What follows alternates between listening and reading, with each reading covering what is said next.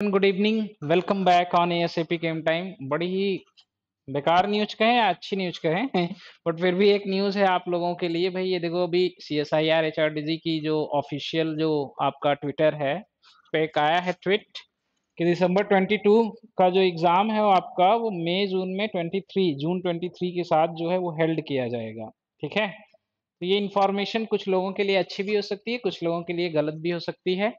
कुछ लोग खुश भी होंगे, कुछ लोग दुखी भी होंगे। जिनकी तैयारी है, उनके लिए तो अच्छी है या खराब, वो डिसाइड करेंगे। बट ओवरऑल मिला जुला के आप लोगों को प्रिपरेशन के लिए और ज़्यादा समय मिल गया। कहा जाए ऐसा तो। तो इस ट्वीट के अकॉर्डिंग ये पता चलता है कि आपका जो दिसंबर का एग्ज़ाम है, उसका इंतज़ार मेरे ख्याल से ख़त्म हो गया। और एक अब मई या जून में आपका एग्ज़ाम होगा एक साथ। ठीक है तो रेडी हो जाइए फिर मई, जून के लिए। मे बी भाई देखो ये ऑफिशियल ट्वीट ट्विटर हैंडल मैंने खोला है, वहाँ से देख रहा हूँ। इस खबर के 100 प्रतिशत सही होने की पूर्ति मैं नहीं करता हूँ, ठीक है? अभी जो मिला है, वो मैं बता रहा हूँ, बाकी आप लोग अपना देख लीजिएगा। तो चलिए, हम लोग अपना स्टार्ट